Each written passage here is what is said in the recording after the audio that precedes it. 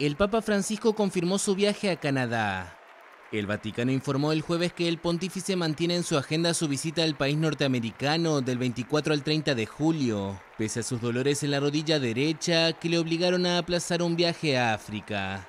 Según la Santa Sede, Francisco de 85 años irá a Edmonton, Quebec y Caluit, en una visita en la que se espera que pida disculpas por la violencia ejercida durante décadas contra pupilos de poblaciones autóctonas en pensionados gestionados por la Iglesia Católica.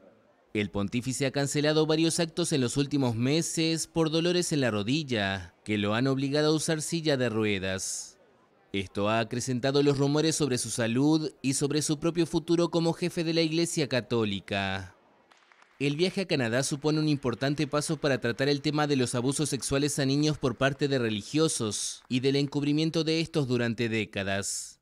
El descubrimiento en los últimos meses de cientos de sepulturas anónimas de niños sacudió a ese país y muchos sobrevivientes esperan un gesto firme del Papa.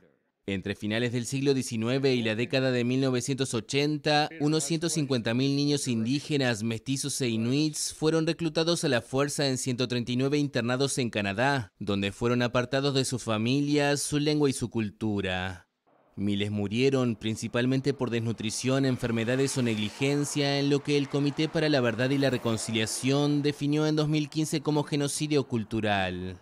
Otros fueron víctimas de abusos físicos o sexuales. Oh.